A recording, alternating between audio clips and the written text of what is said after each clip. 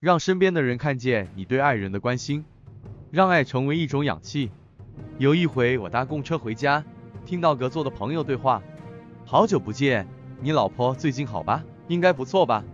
我记得她以前在学校最宝了，什么事情都可以讲成笑话。”那位男士回答：“原来她以前就这样了，我还以为是被我逼疯的。”看他们两人说的多开心，我忽然很想看看那个宝太太。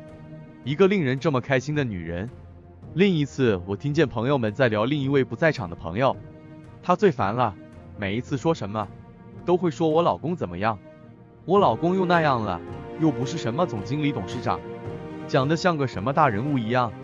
后来我终于看见这个大人物，一个蛮平凡的人，但是我看到一些不平凡的事，他蛮注意小细节，车多时他会把老婆拉进人行道。风大时他挡风，就连喝个饮料，他都提醒老婆这饮料含有酒精，别喝多了。我们常常都会听见别人在背后说自己亲人的一些闲话，大多数是坏话，即使是自己最亲爱的人，我们也是会不经意的说出一些对他形象不利的话。在一家公司，就要说一家公司的好话，这可以帮助公司进步。以前一位工作上的前辈在退休前送给后生晚辈的话。我们可以转而应用在爱情之上。人心里想的不用负责任，但是说出来的话就必须负责任。惜话如金，慷慨赠好话与自己所爱的人。有一回我到一个朋友家玩，看见他三岁的儿子在那儿玩得很开心，我跟朋友也在一旁聊得很开心。谁知朋友突然一声尖叫，吓了我一大跳。你把你老爸的定情之物弄坏了，我可是会扁你的。原来那个小戒指是她老公第一次打工赚的钱买给她的，虽然不值钱，但却是他们夫妻俩甜美的话题与纪念。